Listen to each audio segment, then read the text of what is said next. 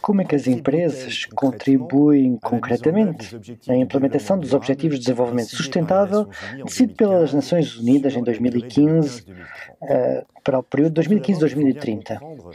Antes de mais, devemos entender que os ODS constituem um âmbito de referência extremamente importante para mostrar a relação entre as empresas, a sociedade e o bem comum.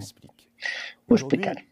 Hoje, o mundo da empresa foi extremamente, extremamente afetado com a crise de 2008-2009, que alcançou bem mais do que o mundo financeiro, mas o conjunto do mundo económico e colocou a questão da sua legitimidade.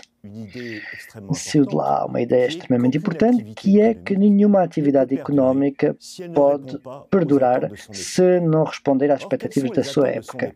Então, quais são as expectativas da sua época? Da sua época? E isso é que é interessante. Se olharmos para os estudos feitos pela BETC, que é uma agência de comunicação importante, junto do conjunto dos cidadãos consumidores do mundo em 28 países, a maioria dos consumidores cidadãos nos dizem hoje que na escolha escolha de uma compra de uma marca, a escolha de um produto ou de um serviço, é cada vez mais condicionado pela performance social, ambiental e ética da empresa. O que quer dizer que, se as empresas quiserem perdurar, devem ser capazes de responder a essas demandas, não somente em termos de responsabilidade, não somente em termos de responsabilidade social e ambiental, mas também respondendo às expectativas de novos produtos e serviços aguardados pela população. Economia circular, economia da partilha, acesso por todos a serviços essenciais são elementos chaves da opinião pública relativamente à relação uh, com as empresas. E o mundo da finança não se engana.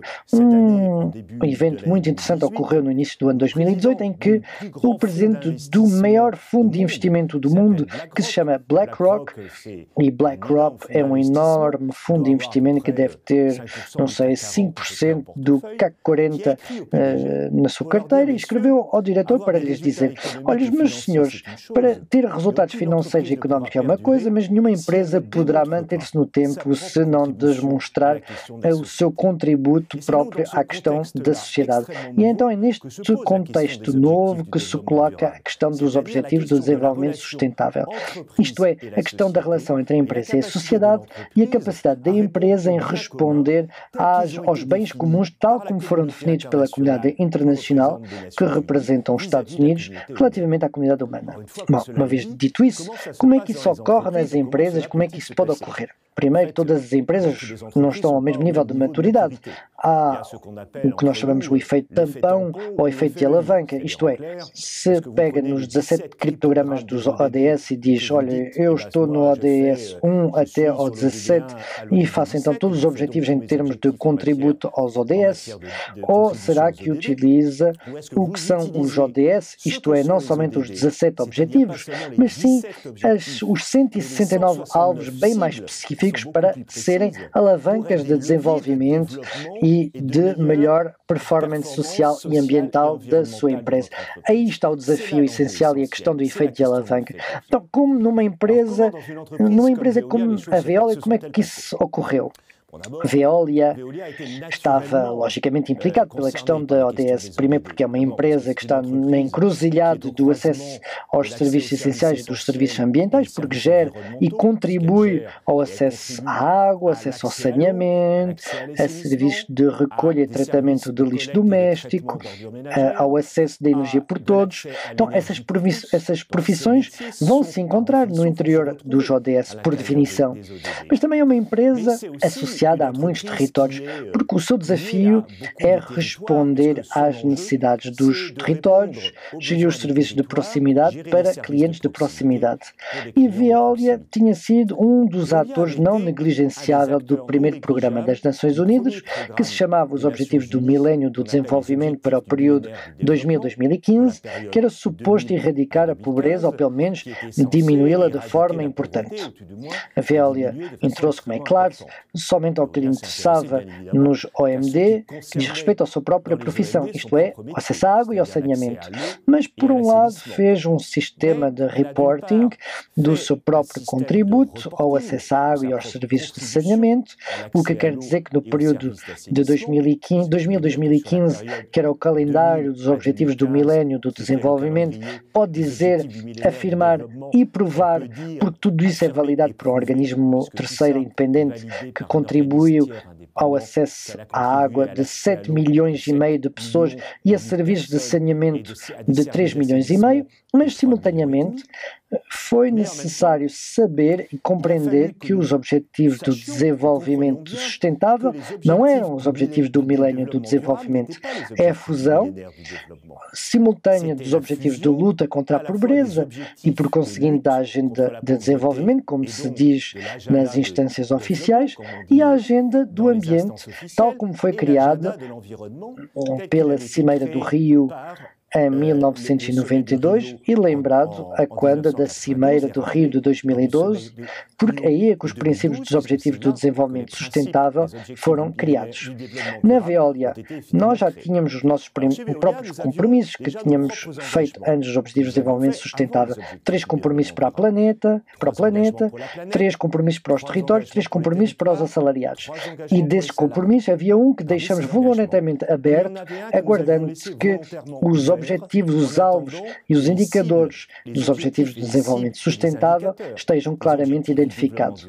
Quando foram conhecidos, em setembro de 2015, olhamos a três níveis como poderíamos contribuir a isso quer, primeiramente, através das nossas profissões tradicionais, atividades tradicionais, nós encontrarmos, logicamente, no objetivo 6, que é a gestão da água e do saneamento para todos, encontramos-nos naturalmente no objetivo 7, que é uma eletricidade sustentável, renovável e barata.